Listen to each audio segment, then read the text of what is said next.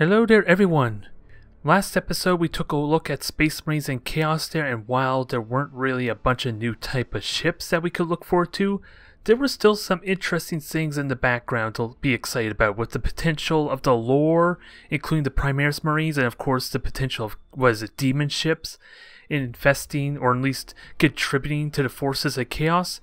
There was still a lot of stuff to be potentially excited about, but nothing really direct in terms of like how the Imperial Navy Mechanicus looked for what they are going to have in additional additional ships. But now we are going to take a look into Eldar and see how exactly they changed in, from the tabletop to Armada 1. And trust me, there have been some changes. Some of the ships themselves have actually been reworked a little bit, which I will explain as we get to some of them. But let's explain a little bit the rules and mechanics for the tabletop itself to at least give you a little bit of understanding on why the Eldar function the way they do. And a lot of that comes down to their mo movement. Of course, the holofield's a big thing, and the fact that they are pretty well fragile as well, in terms of they're like the easiest type of ships to hit, more often than not when you do not include the holofield. Which, interestingly enough, I may be misunderstanding the rules a little bit for the holofield there, but it says that for like regular weaponry that rely on the gunnery table. I'll demonstrate what that is there, but basically anything that has a chance of missing or has like accuracy modifiers to it. So that's like your macro cans in general there mostly. It doesn't seem like the holofield actually affects them in, in any way at all, which is a little bit different than how Armada 1 has it, because there is that like 50% chance to ignore an attack that hits you, but let's also keep in mind the lowest you can go from what I talked about before in previous episodes is that you can't get lower on a dice roll 4 or higher basically to hit. So basically that means that Eldar are technically a little more durable than they are in Armada 1 with that said. So that could be why the holofield was changed slightly to kind of help make up for just how fragile Eldar would have been otherwise with their 25 armor all around. They would have died immensely fast, but since we are talking about a real-time strategy game, that actually changes the dynamic in more ways than one. I've shown in a handful of videos you could just straight up dodge the projectiles, whereas in a turn-based combat game, that's not quite the same effect there. For you're kind of forced to take the hits even though you have the mobility and those little elusive traits that Eldar have. In fact, like I mentioned before in like just some of my Eldar mission videos in general there, the Eldar can actually move twice in a single turn. And how that exactly functions is that they do their move normally in like the movement phase, which is the first phase of a turn there, and they have their movement based on the stats of their ship there. There's also like a nerf factor that never quite made Armada 1, which is the facing of the sun there, since really all the Eldar ships rely on the solar sails, which is where they get their movement. The placement of the sun also had a factor on how fast the Eldar ship's gone, but those are all based on each individual ship, so you'll get to see that as we look at the stat layout for like the Voidstalker and the Eclipse and all them. But basically, Eldar had their move as normal there. They actually had a 180 degree turn there, from what I understand. So they can turn themselves completely around, especially for like the second movement phase, which happens after they do their shooting there. So does that sound familiar? That is exactly how the Falls maneuver works there, technically. And their speed isn't really reduced for a second movement phase either, at least outside what I just said about the sun facing itself, but they can go in there, into the target there, getting the ideal placement because they actually, for like all the airships I talked about so far, Chaos, Space Marines, Imperial Navy, Mechanicus, they all had a minimum movement range that they had to go if they were going to do a legal move basically. They could unless they did like a burn retros which is the only way all those ships all those other factions i mentioned could actually turn on a dime not move at all.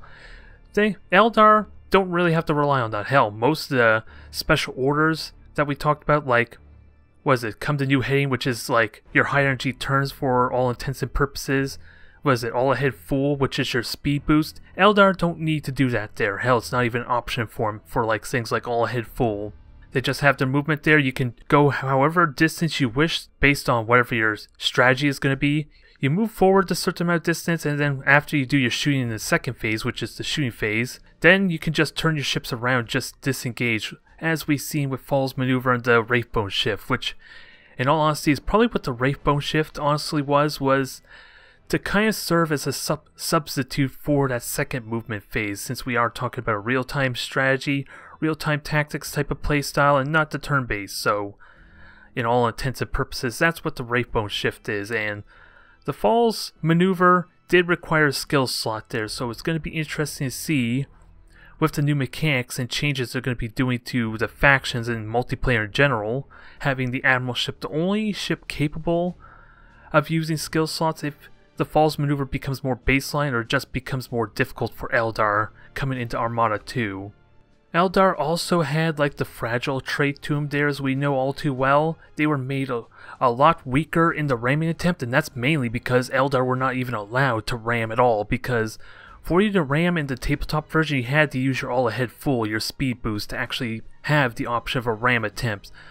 So the fact that Eldar do less damage is mainly because of that there, and if you're looking down on the bottom right here on the page, which you may have already read on the critical hits tab, this is why Eldar are a lot more fragile and a lot more vulnerable to taking critical hits because normally anytime you did damage to the hull for the tabletop version you would roll a dice and every time you rolled a 6 you would then get a critical hit. Outside of like specialized weapons like of course the Space Marines bombardment cannon and the Eldar trait here where instead of rolling a 6 you basically have a 50-50 chance of getting that critical hit and then you roll additional dice to determine what actually got damaged there which is basically shown right here in fact this is what the critical hit table looks like. It is different for Eldar and in general, but this is roughly what it's, it's similar to how Imperial Navy Chaos and all that function as well. You basically roll 2d10 there, or 2d6 rather. I don't know where 2d10 came from, but based on the roll there,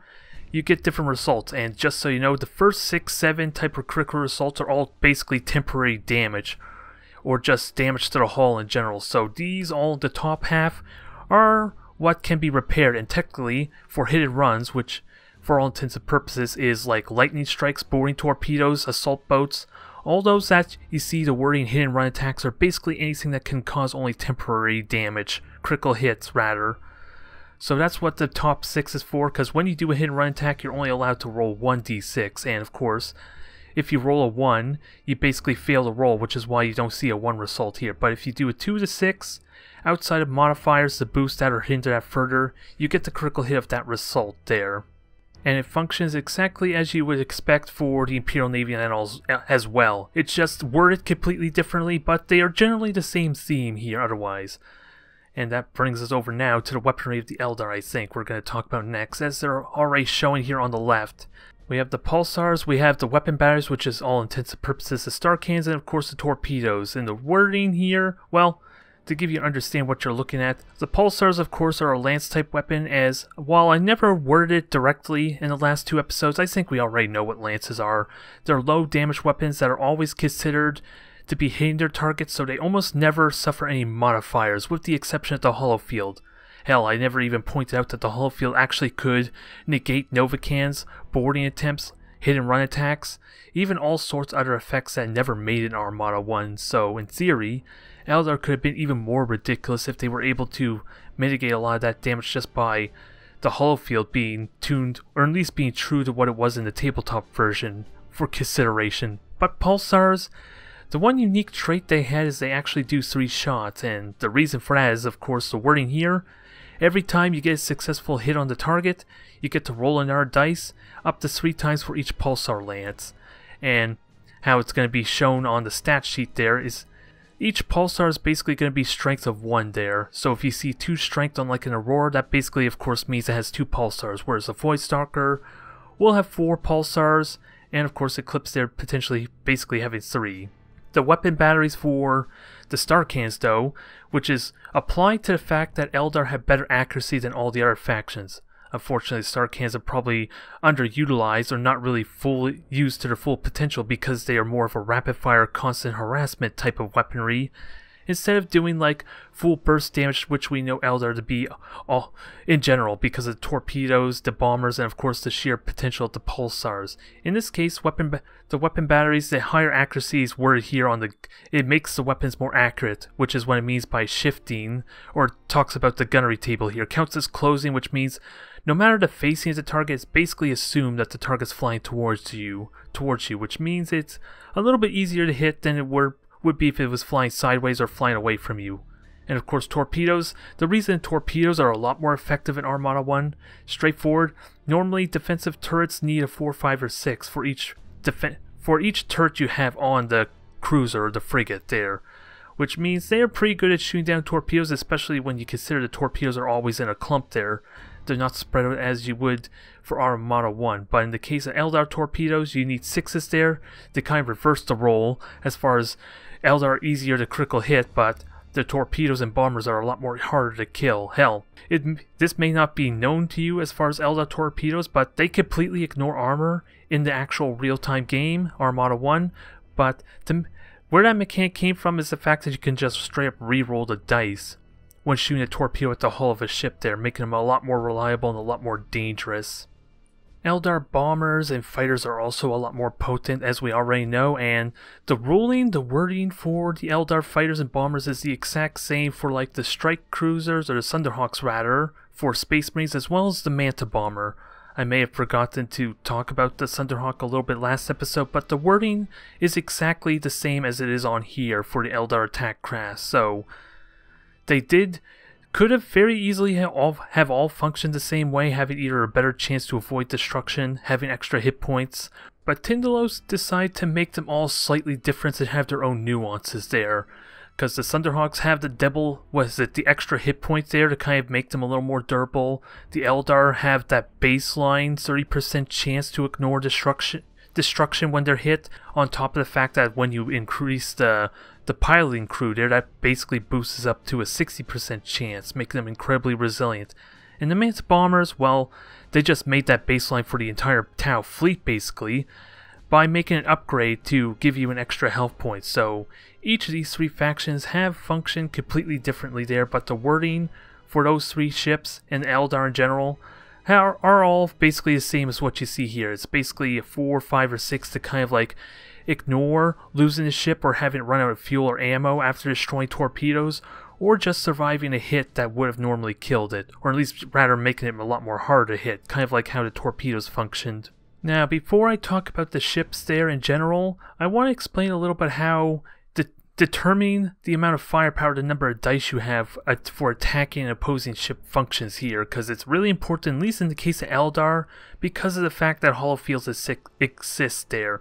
Never mind the fact that it functions differently, or the feel is a lot more differently. Mind you, I never played the tabletop game personally, let alone Eldar. The closest I ever came to was like playing a tablet version called Battlefleet Gothic, was it Leviathan, which is mainly focused around the Tyranids, and there were no Eldar in that game, so I have no idea how Eldar personally felt there, but this can be a little bit overwhelming because this is the gunnery table right here, and basically modifiers for if the target's coming towards you, moving sideways, or moving away. So to make this simple for you, I brought, I looked at the damage, the stat sheets for like the retribution, and it has a firepower of 12 for its macro cannons. So just for the sake of helping make this a little bit easier to understand, if the Retribution was shooting at something that was flying towards it at like 6,000 range. This is basically without modifiers. So 6,000 range is where modifiers are not a thing outside of like special abilities. So it would you would have like 8 dice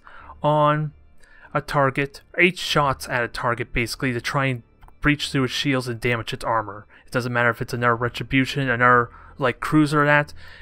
It would be 8 dice there if the target's flying towards you at 6,000 range.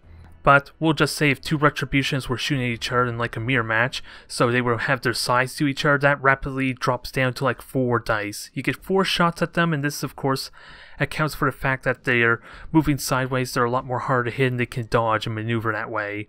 So the holofield basically moves this uh, chart over as far as your stat basic chance to hit, and this is where Eldar become a lot more difficult to do damage to because as you can see it rapidly rapidly drops down as you get further and further to the right, which basically is the number of dice you get for shooting at escort ships and torpedoes on the far right there, and it's substantially weaker than all these other modifiers. It may is a little bit confusing to understand at first, so I'm hoping that gave you a little bit of basic outline, because if you were shooting at Void Stalker, it automatically assumes your it moves the target to the right, and when you consider the fact that Eldar can move twice, they're almost never flying towards you anyway, do that second move, because they already shot technically, so you're already having a really poor chance to hit them in general. Do give you a better basic understanding on how, where the inspiration came from for the Holofield in Armada 1.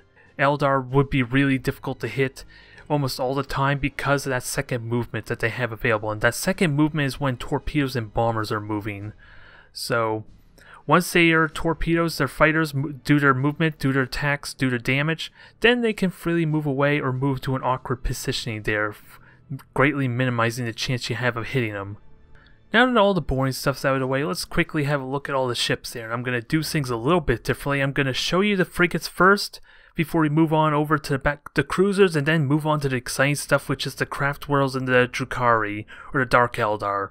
I'm gonna have to start learning how to pronounce their name properly, so you'll have to forgive me on that. But this is the stat sheet here. Every the frigates are probably the only thing that are true to what they were in Armada 1 aside from maybe the Shadow, but you can see on the stats here, they all have their same weaponry here. The prow weapon battery is all technically the star cannon, and because this is a turn-based game, how the weapon batteries perform for this game for the tabletop is a lot more different than, like I said already, in Armada 1. Turn-based, they have to do damage over time, which can be tricky to fully utilize, so ultimately, the torpedoes and bombers, and I believe the pulsars have been ramped up a tiny bit more to help alleviate the loss of potential power, and at least burst damage that Eldar would have had access to through the star cannons.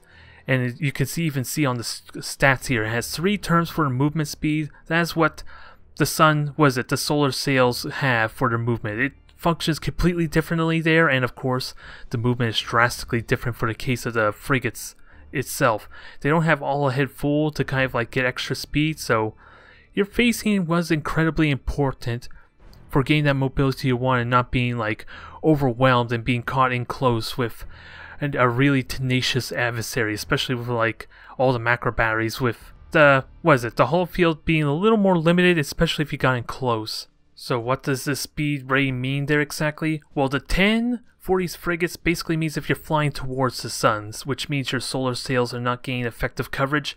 The 20 is if you're flying away from the sun, and the 30 is if it's to your side, so you're going to more often not have the 30 speed, the max speed, if you position yourself properly, but if it does, despite the mobility and the difficulty of effectively hitting Eldar, the Sun, if they get really bad movement speed on either of their phases, preferably when they're trying to disengage on the second movement, then they are really damn screwed, I think it's safe to say, because they're slower than pretty much every other ship, fleet ship in the game, because hell, even Emperor can outrun it if their facing was really badly done. And I mentioned it before, 4 plus armor, this is the lowest you can get out of any hit chance, so it's a 50-50 chance, and the Holofield helped alleviate that negate that the fragile state of Eldar in the Armada 1 just a little bit by making macro cannons not as effective, it seems like. But all in all, it basically comes down to the same there as far as macro can shot. Now let's have a quick look at the Aurora there. There's one important thing I never talked about, the fact that their point defense, their turret count for all these Eldar ships is zero.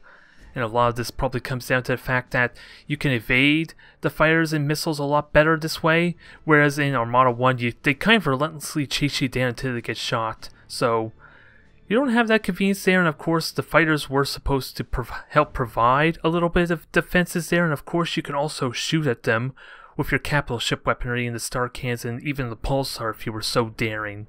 So, this is a big change to the resilience that the Eldar have there. Now, the only other ship that was basically untouched as far as how its weaponry functions is the Shadowed here.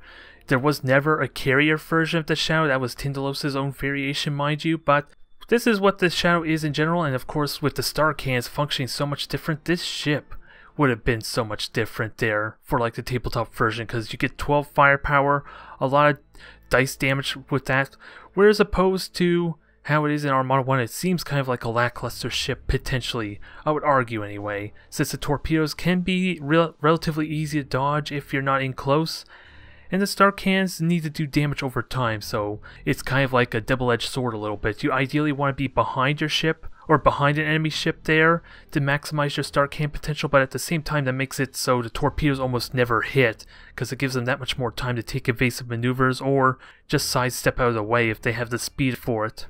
But now, let's talk about where Tindalos tweaks things, shall we? And we are going to start off with the Eclipse. Because the Eclipse here, just to put it out for you, is not a battle cruiser.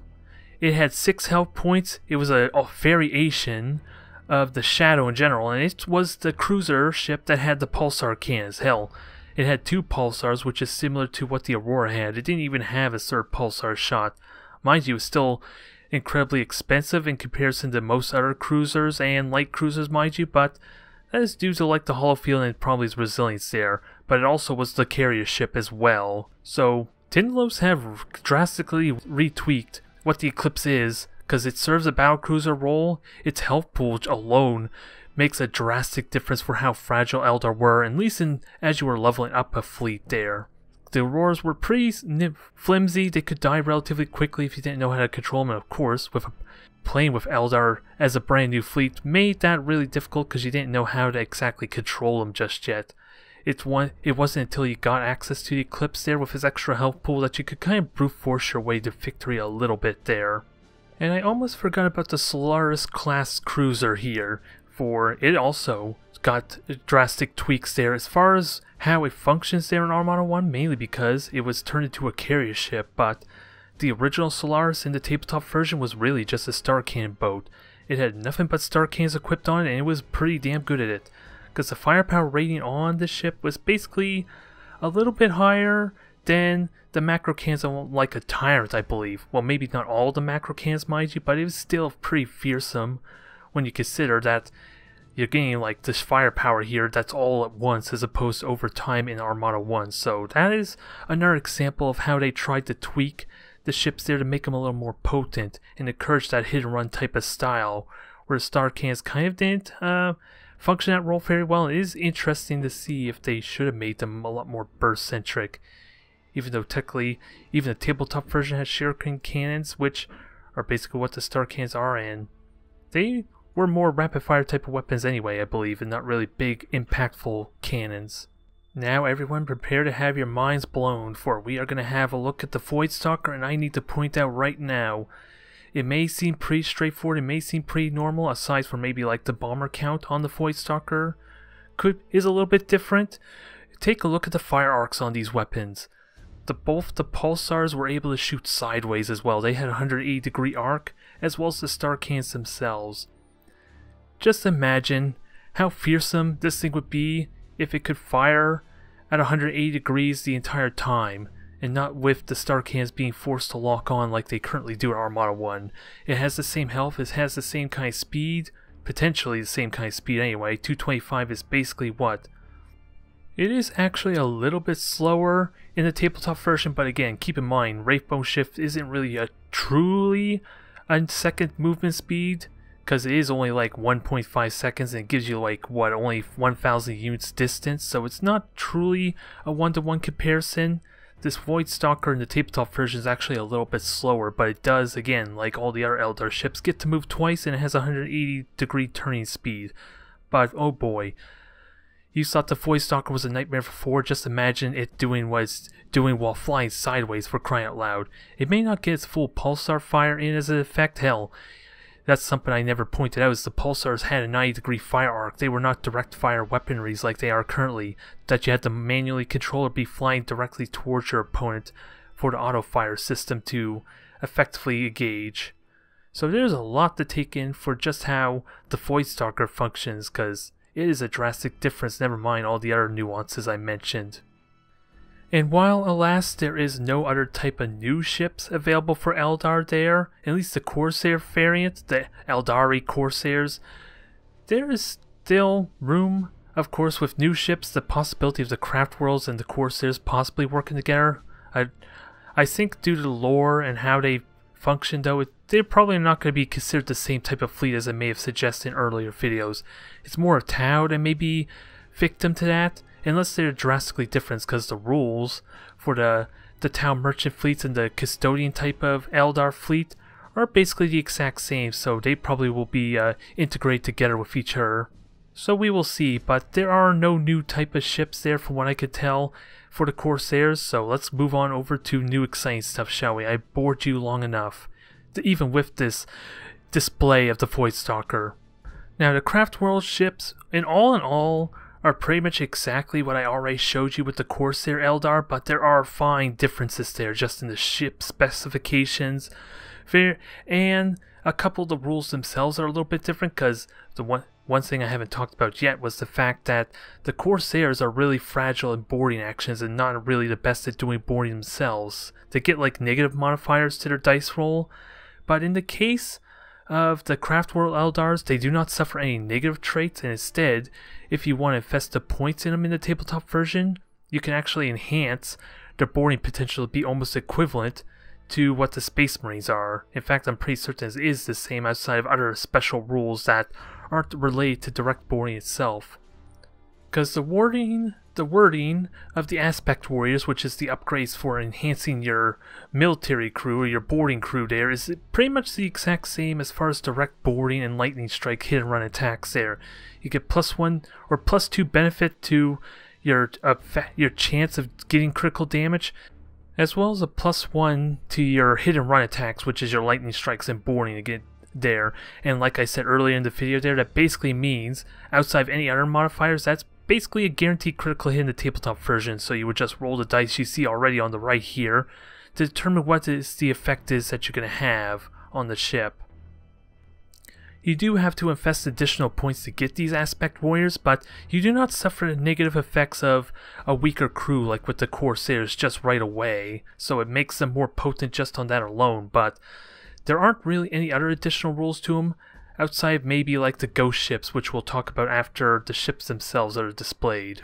And speaking of those new ships, let's just start putting them on display, shall we? First off, we're going to start with the frigates here. Unfortunately, from here on out, we're going to have a much more like reduced list of fighters that are available or ships available, especially for things that are not orcs and was it the Tau fleets, I think, because everything else has like maybe two, three cruisers, including like the Necrons and all that. So there's not going to be a whole lot to show as far as diversity here, but we're going to show you the frigates and the Shadowhunter, and they're technically not truly a frigate, I suppose, because they're more for like point defense for all intents and purposes, shooting down fighters as well as like bombers. So they don't quite have a pulsar lance. They have the options, like all the Craft World ships actually have the option of picking their weapon there, and I believe that all modifies the points of the ships there on the top right, but I couldn't for the life of me really find that, I don't think. I'm to have to double check on that to be sure, but they don't have a pulsar like the regular Eldar, at least the Shadowhunters don't, but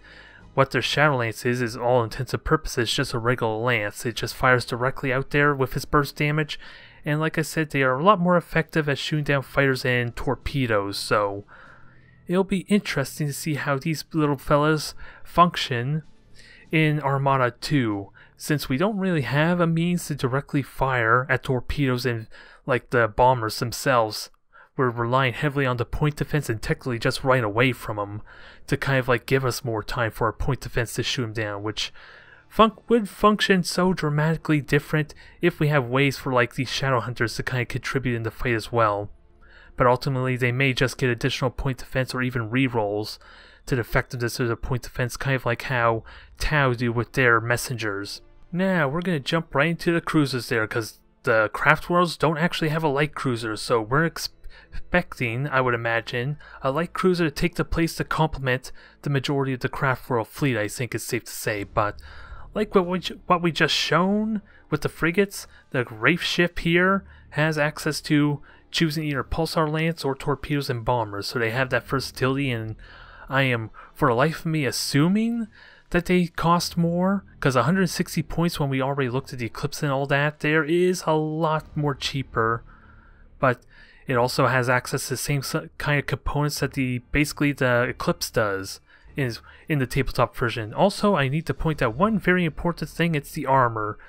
All the Craft World ships have 5 plus armor, so that's 50 armor for all intents and purposes in Armada 1. These things are far more resilient and they still have a holofield to boot.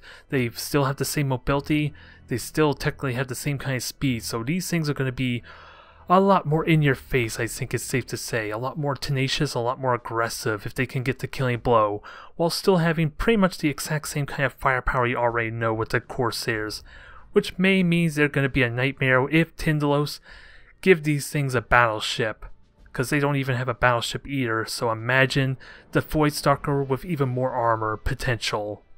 And while I said they do not have a battleship here, they do have like a hero ship available which may take the place of a battle cruiser here.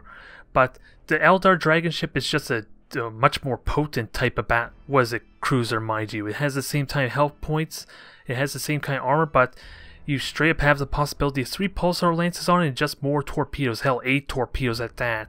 It may be just as fragile as regular cruiser, so it's possible this could get the battle cruiser treatment, like with the Eclipse there, with less tweaks and modifications for it, but this thing is still looking very dangerous and very vicious. And hell, this is like the only ship in the tabletop version that has access to like boarding ships, with like I talked about the Aspect Warriors being a lot more effective at boarding.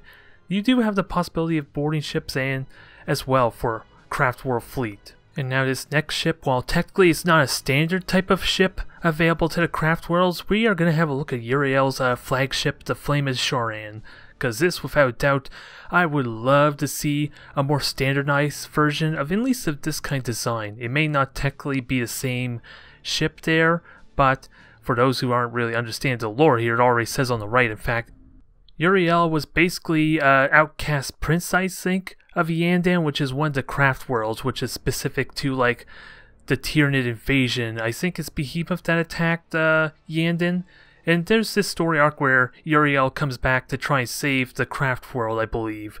I'm not really the most first. Oh, it's Hive Fleet Kraken, never mind. I thought it was Behemoth or something at first. But this is his own personal flagship here. It is a lot more durable. It is, for all intents and purposes, a battle cruiser for what we know it there. 8 health points, a lot more durable, and it even has the same the firepower you kind of would expect, although it only has two pulsars, but a ridiculous amount of star cannons. And while that may be underwhelming for Armada 2, I love to see what Tindalos would do to tweak the ship to make it more standardized and make it part of the Craft World fleet. I'm really excited to see the ship. Now, sadly, that is all the ships available for the Craft Worlds that we know of there, but there are still rules for like the ghost ships that I mentioned earlier there, and basically these are not ex exciting as the demon ships of the Chaos, mind you. They just retweak a lot of the rules that the craft worlds have access are currently utilizing. For so to give you a basic rundown of what the ghost ships really are, you basically remove the crew there and make yourself really weak to boarding, kind of like the Corsairs do already, but you lose the fragile trait of your craft your Eldar ships there. So critical hits are a lot harder to inflict on a ghost ship because basically they don't have a crew, so they managed to enhance the superstructure as a result. There are also other factors here, kind of like if you ever fail, uh, was it a leadership role to do like your lock-ons, your brace for impacts, and all that there, there is always the chance of them just uh, not doing anything at all, which is kind of a death sentence for Eldar if they were to stop listening to your orders there. So there is that risk of that is for all intensive purposes like the bonehead type of trait in Blood Bowl for like your big guys if you ever played that game.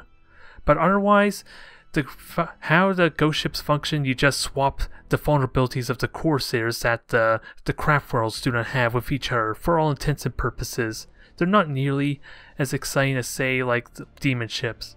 Now, let's talk about the Dark Eldar, the Drukhari as it were there, for they're sort of a hybrid between regular ships that we already talked about with the Imperium Chaos, and a little bit of the nuances to Eldar, mainly because of the Hollow holofield would be the only real thing that even relates them to Eldar in all honesty, which they call the Shadow Field instead, but for all intents and purposes, how the Dark Eldar function is actually quite drastically different for they don't have the two movements every turn like the Corsairs and Craft Worlds do, but they do have means to turn relatively easily and simply because they just immediately succeed on their come to new heading like special order, which is which is the higher energy turn that we're already used to. They still have the higher leadership that we're already aware of there for what Eldar are already bringing Armada 1, and they are a little bit interesting on the boarding actions. They're more aggressive and they're more effective at boarding. They don't suffer any penalties there, but there is a weird little interaction here that after the first round of doing boardings, they have like a bonus modifier, but afterwards it becomes a negative one for whatever reason. So, how this will function for Armada 2 is going to be interesting because do are they um, will they get bonus to like boarding the enemy ship but become weak when they're bored themselves? That would be an interesting way they could do it in Armada 2 since the Dark Eldar are supposed to be very brutal and vicious anyway, so that would fit with their personality and their dynamic a little bit there. But you already can see it in the wording on the shadow field there on the right is basically as you already know with the holofield. It functions exactly as the holofield does, it's just completely different flavor text there, just called a shadow field instead of a holofield, but everything else, the wording is as you know it there. And also, while I did talk about the boarding already about being like a plus one modifier, negative one modifier, they also have this special trait for slave taking here for like their lightning strikes and hit and run type attacks, so the only thing I'm not really certain about is if this would be hindered by the boarding actions we talked about before, because the boarding actions, of course, is like the the boarding parties we do on the broadside there when we're getting point blank range. So maybe this is a completely separate thing. I don't know how these would interact with each other in Armada 2 in all honesty, because we never really seen much differentiation between the lightning strikes and the regular boring potential aside for like maybe favors and even then those like the Khorne favor upgrades for like demon lightning strikes the Bale Tan, uh, the Avatar of Khaine there also giving like additional enhancement to your lightning strike, but those just allowed your lightning strikes to do like permanent damage. So this is a little bit of a different dynamic altogether because it makes them more effective, a lot more reliable, as well as it has a really odd wording here where you can forfeit your critical hit result. Instead, like at least lore wise, flavor wise, you're just stealing slaves to increase your victory point count there, which doesn't really have any impact for Armada in general with how our game plays out because it's all or nothing. But victory points do matter for like the purpose of since there is like partial victory and there are like turn timers for your your battles there. So this would determine, at least in a very minor sense, on who would be the actual victor or at least get partial victories that way. So I would like to see Tindalos make a twist on this to make it like a factor for Armada 2, especially since it could greatly hinder morale. Instead of doing critical hits, imagine the slave taking mechanic being as a way to cripple the morale of a crew there, make them more likely to insubordinate. That would be an interesting dynamic there. It remains to be seen if that's gonna how that if that is how it's gonna work though. Now let's talk about some of the tools that the Drukhari have to bear, because ultimately their weaponry is not all that much different than what the Eldar, the Aeldari have to bring, aside from maybe like the Shadow Lance, the Shadow Pulsar there. It's a, it's slightly different, it's tweaked slightly differently, but it's still technically all the same as far as weaponry. It's just the other like upgrade options, the unique mechanics that they have available to them. Like the Mimic engine here just allows them to basically transform the appearance of their ship into any other ship there, their adversary's fleet. And how that functions in the tabletop game is if you're outside a certain amount of range to not get like identified, you basically cannot be attacked in the first turn there. And it also allowed you to kind of like deploy closer for all intents and purposes to the middle of the map there, which is going to be an interesting dynamic, a fun little dynamic for getting super aggressive with the the Drukhari there. It may not seem that significant at first, but when you consider the fact that if you are going to be playing an aggressive type of fleet, you're you get to your opponent that much faster, which means they are stuck more to the corner of the map and they have a hard time evading you. So for very mobile fleets or very or fleets that have like means to kind of like outmaneuver you, they're gonna be a lot more restricted and a lot more restrained if you go that kind of route. As far as how the mimic engines will function visually, in-game fluff-wise, I could not tell you for the life of me their First impressions, if they want to be lazy, Tindalos that is, you could just make it function very similar to how the supercharged void shield already currently works, where you can't be attacked for like 10, 20 seconds or whatnot. Really hard to say though, it's something to be excited about because it could go all sorts of different directions with this Mimic engine. They also have access to something called an Impaler Assault Module, which for all intents and purposes is just an additional type of boarding option available to you. This is actually a weapon though and not so much like a different type of assault craft though. Assault craft though. And since Dark Eldar are like the the Craft World Eldari where you can choose your weaponry upgrade, you are kind of forfeiting torpedoes or just regular bombers in general to have access to this, but it is a far more potent and a, a far more durable type of uh, assault craft with that said. So it's almost a guaranteed critical hit of some sort of sorts and like with the slave taking rules, you do have the option of taking slaves there, but it is very potent. It's another way to do critical hits, and it doesn't suffer from the normal hit and run traits with like originals, or traditional assault crafts. So you could do permanent damage with this type of ship there, and it is a different kind of uh, boarding option available to you. So you can equip the ship to have even more boarding options available and really cripple a ship down if for whatever reason you do not want to go with the straight up burst damage and just turn your adversary into a blazing wreck in a hurry. There isn't really anything new to say about the attack crafts themselves, like we already gone over the Eldar fighters, so they function the exact same way, and we already seen the Star Cannons, the Dark Weapon Eldar batteries, so they function the same as the Star Cannons, but the Phantom Lance, the big difference here is that you just roll a single dice to determine the number of hits you have on the target, whereas opposed to the El was it the Aeldari uh, pulsars. You just you roll, you keep rolling basically until you miss a shot up to three times, which is a little bit different and a little more consistent for the Phantom Lances to do their damage because you have a good chance of five and six to just do two hits as opposed to one or three. But they have one final trick up their sleeves, and that is the Leech Torpedo.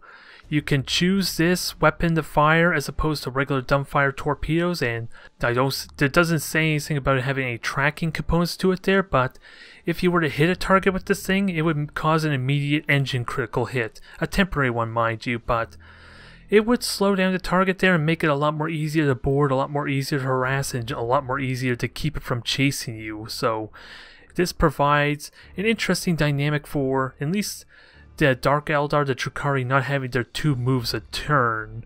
So they are a little bit slower than the regular Eldar, but they don't also rely on the solar sail mechanic that we showed you already. So they are traditional movement in this case, and this will allow them, with the Leech torpedoes, to kind of keep ships that are trying to chase them down. It'll be interesting to see if you could slow down frigates with the Leech torpedoes, but it's an interest, a new dynamic that the Drukhari bring to bear, and it's something you need to take seriously is something you can repair, but mind you, with our emergency repairs on cooldown, it's not like you're going to have easy access to it. Now we're going to end off on a bit of a sad note, at least for the tabletop version, because there's only actually two type of ships available for the Drukhari there. One is a frigate and one's a regular cruiser, so we're going to be ending off on a bit of a dour note. But that also means that we're going to be seeing brand new type of ships to kind of fill that void that Tindalos is going to be bringing to us. So there is still exciting possibilities, it's just really difficult to tell you what exactly to get excited for, alas. So let's have a look at their one capital ship cruiser, the Torture class cruiser. And like I mentioned already, you can choose what upgrade to have onto it there, but for both the frigate and this cruiser, you're stuck with only the star cannons, the prow guns, and then everything else you kind of have to fight over to see what you like better there. You have access to the Impaler, Phantom Lance, two sets of bombers, I would imagine, here for the launch bays and four torpedoes. So it's pretty straightforward otherwise, but uh, like I said, the speed, for all intents and purposes, these ships would be going what? About like 262, I think it is, for like the Nova and basically the Hunter. These things are going to be going pretty fast for a standard cruiser, for crying out loud. And a light cruiser is going to go even faster, but they don't.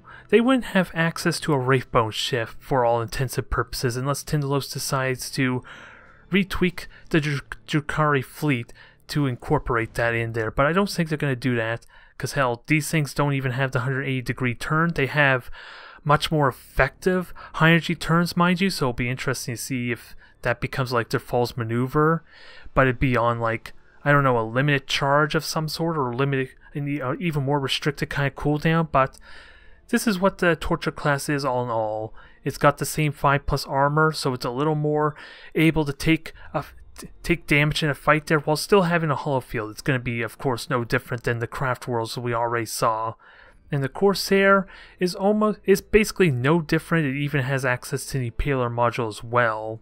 So it makes it pretty damn potent potentially for a frigate, mind you, because everything else is a lot weaker otherwise. I would imagine it would cost a lot more to have an impaler on a frigate, mind you, but it is the one thing that would not actually get weaker if you were to put it on a frigate. So there's a and it also would also be the first like kind of frigate that can board, at least for Armada 2, because in all honesty, all the frigates were able to board as well. They were just not really good at it. You just had a weaker modifier, but they were still able to board most ships there. There were some other restrictions, I believe, as well, so they couldn't board like ships that were still at full health. I think you had to damage or cripple them, I think.